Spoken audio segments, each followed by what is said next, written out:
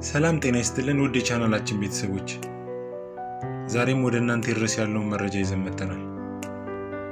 አሜሪካ ላይ ኪሳራ አድርሳለች የተባለችው ሰላይ ከ20 ዓመታት እስር በኋላ ተለቀቀች። በቀዝቃዛው ጦርነት ወቅት እውቅና ተጽዕኖ ፈጣሪ ከነበሩ ሰላዮች መካከል አንዷ የነበረችው አና ሞንቴስ ከ20 ዓመታት እስር በኋላ ተለቀቀች። አሁን ላይ 65 ዓመት የደፈነችው አሜሪካዊቷ ሰላይ በአሜሪካ የመከላከያ ደህንነት ኤጀንሲ እየሰራች ለሁለት አስርት ዓመታት የአሜሪካ ባላንጣ ለሆነችው ኩባ ስትሰልል ነበር።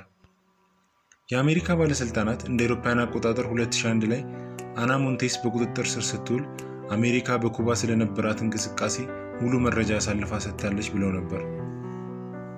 አንድ ከፍተኛ ባለሥልጣን በአሜሪካ ከተያዙ ከፍተኛ ጉዳት ካደረሱ ሰላዮች መካከል ሞንቴስ አንዷ ናት ብለው ተናግረው ነበር። እንደ አውሮፓውያን አቆጣጠር 2012 ላይ በፕሬዚዳንት ጆርጅ ደብሊው ቡሽ አስተዳደር ስር ከፍተኛ የደህንነት ኃላፊ የነበሩት ማይክል ባንክሊፍ ለኮንግረስ ሲናገሩ በኩባ ስለምናውቀውና በኩባ እንዴት እንደምንሰራ ሙሉ በሙሉ አጋልጣለች ብለዋል። ኩባውያኑ ስለ እነርሱ የምናውቀውን ነገር በሙሉ ያውቁ ነበር፣ ስለዚህ ይህንን ይጠቀሙበታል ሲሉም ተናግረው ነበር። ሞንቴስ በቁጥጥር ስር ስትውል በኩባ የሚገኙ አራት የአሜሪካ ሰላዮች ማንነት ከፍተኛ ምስጢራዊ መረጃዎችን አቀብላለች ተብላ ተከሳ ነበር።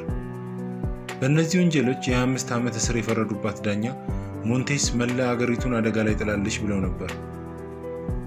ሞንቴስ ለኩባ ለመስራት የተስማማችው በጥቅማ ጥቅም ተደልላ ሳይሆን በምትከተለው ርዕዮተ ዓለም ነው ተብሎ ይነገር ነበር። ሰላዋ የአሜሪካ ፕሬዚዳንት ሬጋን አስተዳደር በላቲን አሜሪካ ያለውን እንቅስቃሴ መቃወሟ ለኩባ የደህንነት ተቋም እንድትሰራ ምክንያት ከሆኑት አንዱ ነው። አና ሞንቴስ የአሜሪካ መከላከያ ደህንነት ከፍተኛ ተንታኝ ሆና እየሰራች ከኩባ ሰላዮች ጋር ግን ዋሽንግተን ዲሲ በሚገኙ ምግብ ቤቶች እየተገናኘች ጥብቅ ሚስጥር የያዙ መረጃዎችን ታቀብል ነበር። ከኩባ ደግሞ ትዕዛዝ የምትቀበለው በአጭር ሞገድ ሬዲዮ ነበር ተብሏል።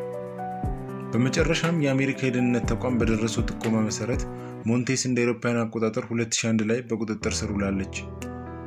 ሞንቴስ አሁን ላይ ከአሜሪካ እስር ቤት ብትለቀቅም ለቀጣይ አምስት ዓመታት በደህንነት አባላት ጥብቅ ክትትል ስር የምትቆይ ይሆናል። የኢንተርኔት አጠቃቀሟ ክትትል ይደረግበታል። የውጭ ሀገር ሰዎችን ከማግኘቷ በፊት ፈቃድ ያስፈልጋታል። እንዲሁም ለአሜሪካ መንግስት መስራት አትችልም። ከ20 ዓመታት በፊት ሞንቴስን በቁጥጥር ስር ያዋለው የፌዴራል ቢሮ መርማሪ ኤፍቢአይ ባልደረባ ሰላይዋ ካሁን በኋላ ከኩባ ጋር የመስራቱ አጋጣሚ ያበቃለት ነው ብሏል። ፒትላፕ ለሲቢኤስ ሲናገር ያ ህይወቷ አብቅቷል፣ ለእነርሱ ያደረገችው ነገር አብቅቶለታል ብሏል። ለቻናላችን አዲስ ከሆኑ የ subscribe button ኑን በመጫን ቤተሰብ ይሁኑ። ሰላምና ደስታን ተመኘን።